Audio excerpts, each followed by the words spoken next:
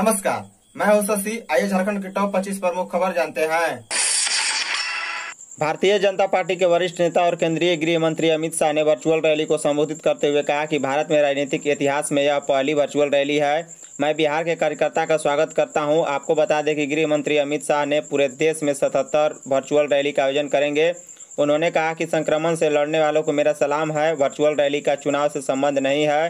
अमित शाह ने आरजेडी पर तीखा हमला करते हुए कहा कि पहले ललटेन जनानी पड़ती थी, लेकिन अब ललटेन का जमाना चला गया है और एलईडी बल्ब का जमाना आ गया है। उन्होंने रैली को संबोधन करते हुए कहा कि शौचालय, बिजली, बैंक खाता, स्वास्थ्य सेवा, गैस सिलेंडर, सभी सुविधाएँ मोदी सरकार ने दे दिए हैं। अब 25 करोड़ लोगों के घर तक नल से शुद्ध जल पहुँचाने की योजना शुरू की गई है।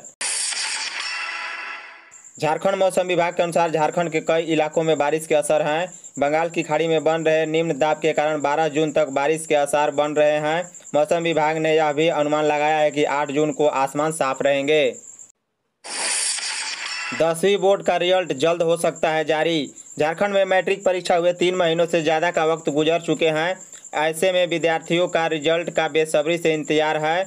इस बीच झारखंड अधिविद्य परिषद ने खुशखबरी दी है कि बोर्ड के मुताबिक जून महीने के अंत में या जुलाई के पहले सप्ताह में दसवीं बोर्ड के रिज़ल्ट घोषित हो सकते हैं। आपको बता दें कि बोर्ड ने रिज़ल्ट में देरी का कारण संक्रमण को बताया है। झारखंड में आज 105 नए संक्रमितों पुष्टि हुई, जो धनबाद से 25 सिमडेगा तेरह, लोहरदगा ग्यारह, गिरिडीह ग्यारह जामतला नौ, जमशेदपुर आठ, रामगढ़ छः गुमला चार, हजारीबाग तीन, लातेहार तीन, गढ़वा तीन, कोडरमा दो, पश्चिमी सिंहभूम दो, व रिम्स से दो, बोकारो एक, खुटी एक, सरायकेला एक हैं। झारखंड में कुल संक्रमितों की संख्या एक हज़ार तीस से बढ़कर ग्यारह सौ पैंतीस हो गई, जबकि चार सौ नब्बे लोग स्वस्थ हुए सात की मृत्यु हो गई। भारत में कुल संक्रमितों की संख्या दो लाख संतावन हज़ार चार सौ छियासी है, जबकि एक लाख तेईस हज़ार आठ सौ अड़तालीस लोग स्वस्थ हुए और बहत्तर सौ सात की मृत्यु हो गई। के रोज़गार और स्वास्थ्य को लेकर चिंता, बन्ना गुप्ता। स्वास्थ्य मंत्री बन्ना गुप्ता ने कहा है कि हेमंत सरकार प्रवासियों, श्रमिकों के स्वास्थ्य और रोज़गार को लेकर चिंतित है। उन्होंने कहा कि हेमंत सोरेन के कुशल नेतृत्व में स्वास्थ्य विभाग ने पहले से ही पूरी तैयारी कर ली थी। हर व्यक्ति को स्वस्थ रखने का खाका पहले ही तैयार किया गया है। रोज़गार को लेकर बना गुप्ता ने बताया कि राज्य सरकार हुनरमंद लोगों को रोज़गार देने के प्रयास करेगी। उन्होंने कहा कि हमारे भाई बहन को यही रोज़गार मिल जाए, जिससे उन्हें दोबारा धरती छोड़ नहीं जाना पड़े। बाबूलाल मरांडी ने संक्रमण जाँच को लेकर मुख्यमंत्री को लिखा पत्र। भाजपा विधायक दल के नेता बाबूलाल मरांडी ने मुख्यमंत्री हेमंत सोरेन को पत्र लिखकर संक्रमण जाँच की गति बढ़ाने को कहा है। पत्र में उन्होंने कहा कि राज्य में अब तक तिरानवे संक्रमित पाए जाना चिंता का विषय है। साथ ही उन्होंने कहा कि जो प्रवासी मजदूर आ रहे हैं, उनको कहाँ क्वारंटीन किया जा रहा है तथा वे कहाँ से आए हैं, सरकार के पास इसकी सही आंकड़ा नहीं है। उन्होंने कहा कि ऐसी लाचार व्यवस्था के कारण संक्रमण बढ़ रहा है, इस पर सख्त ध्यान देने की ज़रूरत है। मुख्यमंत्री ने तीन जिलों के क्वारंटीन सेंटर को जाँच का दिया आदेश। मुख्यमंत्री हेमंत सोरेन ने गिरिडीह, रामगढ़ और हजारीबाग ज़िले के उपायुक्त को क्वारंटीन सेंटर के जाँच का आदेश दिया है।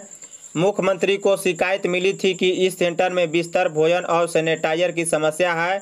सीएम ने तीनों ज़िले के उपायुक्त को मामले की जाँच कर लोगों को मदद पहुंचाते हुए रिपोर्ट मांगी है। केरल से लौटी युवतियों ने हेमंत सोरेन का जताया आभार। केरल के एर्नाकुलम से लौटी झारखंड की 500 लड़कियों ने मुख्यमंत्री हेमंत सोरेन का आभार जताया है। लड़कियों ने कहा कि दो माह के लॉकडाउन के दौरान हम दाने दाने के मोहताज हो गई थी। विरोध करने पर हमें हॉस्टल से निकाल दिया गया था। लड़कियों ने कहा कि अब नहीं जाएँगे। रोजी रोटी के चक्कर में केरल मुख्यमंत्री ने हमें जिल्लत भरी ज़िंदगी से निजात दिलाई है। पारा शिक्षकों को 10 बरस प्रशिक्षण की शर्त से मिल सकता है राहत। पारा शिक्षकों की सेवा शर्त को लेकर 9 जून को शिक्षा मंत्री की अध्यक्षता में बैठक होगी। इसमें पारा शिक्षक के सुझाव पर चर्चा होनी है। बता दें कि इस पर अंतिम निर्णय उच्च स्तरीय कमेटी ही लेगी। सूत्रों के मुताबिक पारा शिक्षकों को स्थायीकरण के लिए सीमित परीक्षा ली जाएगी। जो वैसे शिक्षक सम्मिलित होंगे, जो प्रशिक्षित हैं, जो प्रशिक्षित नहीं हैं, वे प्रशिक्षण के 10 वर्ष पूरा होने पर परीक्षा में सम्मिलित हो पाएँगे। बता दें कि पहले 10 वर्ष सेवा का अनुभव भी होना अनिवार्य था, लेकिन इस पर छूट मिलने की संभावना है तथा परीक्षा में पास होने के लिए तीन अवसर दिए जा सकते हैं, जो कि परीक्षा पास करने के लिए प्राप्तांक 60 प्रतिशत अनिवार्य होगा। लेह से 208 प्रवासी श्रमिक झारखंड लौटेंगे। मुख्यमंत्री हेमंत सोरेन के प्रयास से लेह में फंसे 208 प्रवासी श्रमिक को फ़्लाइट से लाया जाएगा, जिसकी जानकारी मुख्यमंत्री ने ट्वीट कर दी। आपको बता दें कि आने वाले श्रमिक मूल रूप से संथाल परगना के हैं। इन्हें दो चरणों में वापस लाया जाएगा। राज्य सरकार लेह से श्रमिकों के दूसरे और तीसरे समूह को सोमवार सुबह दस बजे एवं मंगलवार शाम सात बजकर चालीस मिनट पर एयरलिफ्ट कर रांची लाएगी। रिम्स में लगेंगे दो सौ छप्पन स्लाइस की सिटी स्कैन मशीन। रांची के रिम्स में मंत्री द्वारा स्वीकृति के बाद दो सौ छप्पन स्लाइस सिटी स्कैन मशीन की खरीदी के लिए टेंडर की प्रक्रिया शुरू के लिए रिम्स निदेशक द्वारा आदेश जारी किया गया है। रिम्स निदेशक डॉक्टर डी के सिंह ने रेडियोलॉजी विभाग के लिए दो सौ छप्पन स्लाइस सिटी स्कैन मशीन की खरीदारी के लिए ई टेंडर तैयार करने का निर्देश दिया है। निदेशक ने टेंडर प्रपत्र तैयार कर यथाशीघ्र सौंपने का निर्देश दिया है ताकि टेंडर प्रक्रिया जल्द शुरू की जा सके।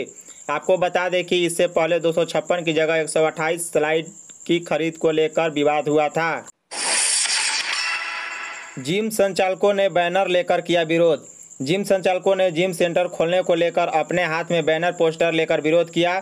शारीरिक दूरी का पालन करते हुए सरकार से राहत की मांग कर रहे थे। उनका कहना था कि जिम खोलने का निर्णय नहीं देने के कारण वह आर्थिक संकट का सामना कर रहे हैं। उन्होंने सरकार से कहा कि क्या वह जिम का किराया वहन करेगी?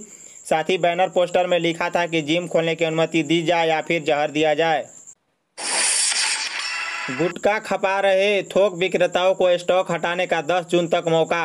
स्वास्थ्य विभाग ने राज्य में चोरी छिपे गुटखा खपा रहे विक्रेताओं, थोक विक्रेताओं को राज्य से स्टॉक हटाने का एक और मौका दे दिया है। विभाग ने सभी वितरकों एवं थोक विक्रेताओं को कहा है कि वे किसी कारण से अब तक 11 कंपनियों के गुटखा एवं पान मसाला झारखंड के लिए बाहर नहीं भेज पाए हैं तो 10 जून तक स्टॉक हटा ले। पाँच दिन का स्पेशल मेडिएशन ड्राइव आज से। हाई कोर्ट के आदेश से 8 जून से 12 जून तक सिविल कोर्ट में पाँच दिन का स्पेशल मेडिएशन ड्राइव चलेगा, जिसमें 123 मामले का निपटारा किया जाएगा। जिला विधिक सेवा प्राधिकार के तेरह विशेष मीडिएटर वीडियो कॉन्फ्रेंसिंग के माध्यम से विवादों का निपटारा करेंगे। आपको बता दें कि इसकी मॉनिटरिंग जिला विधि सेवा प्राधिकार के सचिव अभिषेक कुमार करेंगे, जो सोमवार सुबह आठ बजे इसका उद्घाटन होगा। गढ़वा फुटपाथ दुकानदारों को मिलेगा दस हज़ार रुपये की आर्थिक सहायता। महामारी से उत्पन्न संकट को लेकर केंद्र सरकार द्वारा प्रायोजित दीनदयाल अंत्योदय योजना राष्ट्रीय शहरी आजीविका मिशन के तहत फुटपाथ विक्रेताओं के जीवन उपार्जन हेतु दस हज़ार रुपये उपलब्ध कराया जाएगा। आपको बता दें कि गाढ़वा नगर पंचायत क्षेत्र के मुख्य बाज़ार समेत आसपास के चार सौ बहत्तर फुटपाथ दुकानदारों का सर्वे किया गया है, जिसमें सौ लाभार्थी दुकानों का आधार कार्ड व बैंक अकाउंट की छाया प्रति जमा कर ली गई है।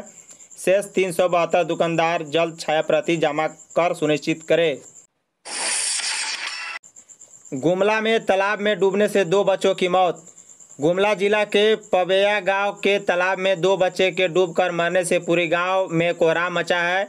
ग्रामीणों के अनुसार रविवार को 12 बजे दोनों बच्चों ने तालाब में नहाने चले गए थे, जो गहरे पानी में जाने के कारण डूब गए और दोनों की मौत हो गई। झारखंड में सबसे बड़ा साइबर डाका डेढ़ करोड़ रुपए उड़ाए। झारखंड में अब तक सबसे बड़ा साइबर अपराध हुआ है। साइबर अपराधियों ने एक्सिस बैंक के माध्यम से डेढ़ करोड़ रुपए अपने खाते में ट्रांसफ़र करवा लिया है। आपको बता दें कि यह मामला धनबाद एक्सिस बैंक का है, जो अपने आप में अनूठे तरह का साइबर अपराध है।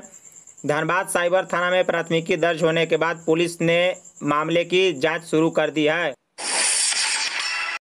प्राथमिक शिक्षक नियुक्ति की निगरानी जाँच होगी। झारखंड के कोडारमा में प्राथमिक शिक्षक नियुक्ति में भारी गड़बड़ी मिलने के बाद स्कूली शिक्षा और निगरानी जाँच कराने का फैसला किया है। सूत्रों के मुताबिक कोडरमा रामगढ़ धनबाद साहिबगंज लातेहार सहित वे सभी जिला जहाँ नियुक्ति में अनियमितता की शिकायत मिली है वहाँ जाँच कराई जाएगी। आपको बता दें कि विभाग ने निगरानी जाँच का प्रस्ताव तैयार कर लिया है जिस पर सरकार के जल्द ही मोहर लगने की उम्मीद है।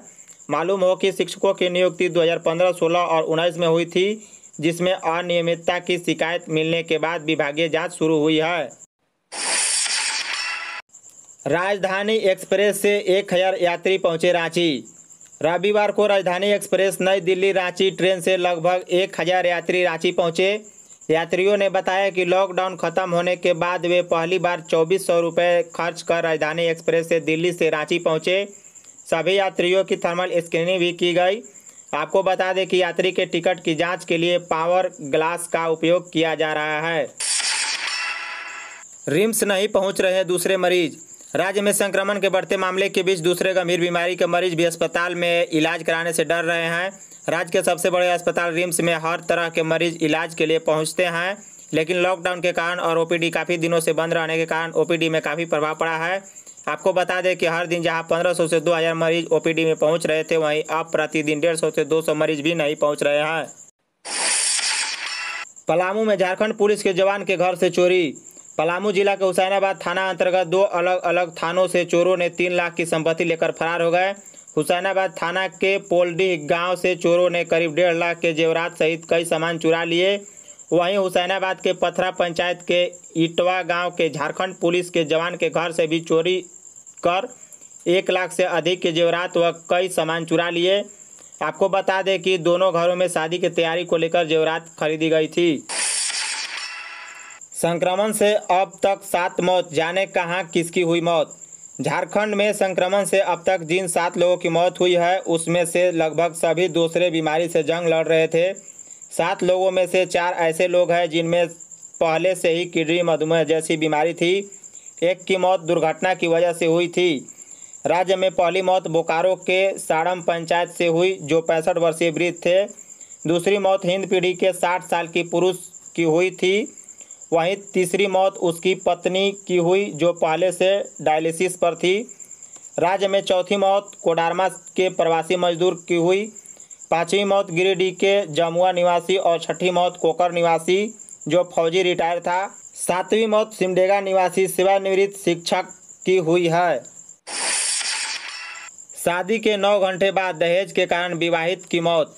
रांची बेड़ो नरकोपी थाना क्षेत्र अंतर्गत एक नवविवाहित की मौत, शादी के नौ घंटे बाद ससुराल में हो गई। मायके वालों ने ससुराल के लोगों पर दहेज के लिए जहर देकर हत्या करने का आरोप लगाते हुए नरकोपी थाना में प्राथमिकी दर्ज कराई है। खबर है कि दोनों के बीच दो सालों से प्रेम प्रसंग चल रहा था, जो लड़के के परिजन को मंजूर नहीं था, पर किसी प्रकार से लड़के के परिजन शादी के लिए तैयार हुए थे।